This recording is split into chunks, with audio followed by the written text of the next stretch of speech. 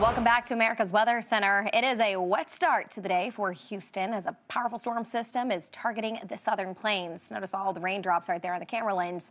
And severe storms are likely to bring damaging winds, hail, and even tornadoes. Yeah, that's absolutely right. And we've got everything we need for a rotating thunderstorm today, except we don't have the low level instability just yet, but that may change. You never know. Let's bring in Fox 26 Houston meteorologist John Dawson. And John, I woke up this morning and looked at the uh, the sounding down at Corpus Christi, and the LCL, the lifted condensation level, essentially the cloud base, was 42 feet. I was like, okay, we might be socked in. That might help us.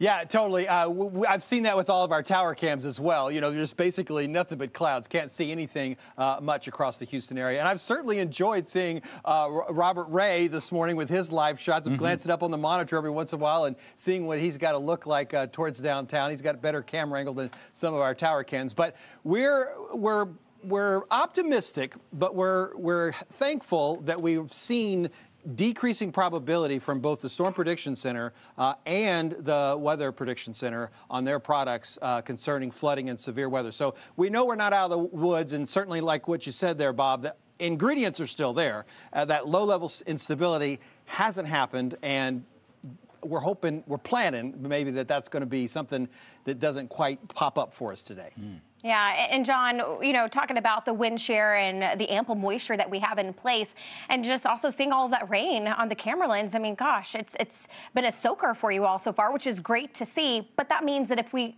do see a spin up tornado, it could potentially be rain wrapped.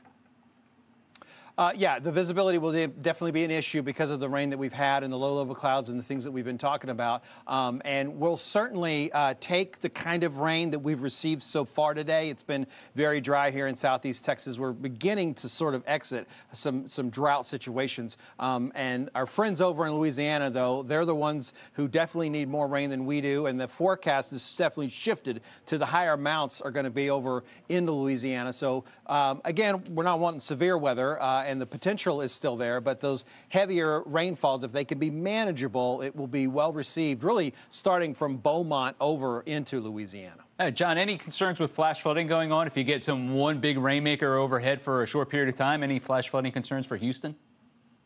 I, I don't think we ever, never drop flash flooding concerns yeah, in no, Houston no because it, so much concrete and it can happen so quickly. But as I mentioned, that those the fact that the Weather Prediction Center lowering uh, their their expectations on excessive rainfall, uh, that's certainly uh, nice to see. Uh, but definitely aware uh, that uh, one of those downpours could just stall over one of our freeways or feeder roads, that's and we're definitely going to have right? Some water in the roads. Yeah. Yeah. And so as we head into the next few hours, we have to think about folks getting on the roads and kiddos getting off school. Have there been any uh, early releases for schools or maybe just closures kind of ahead of this overall system? I will say my son asked me about that question yes. a couple different times.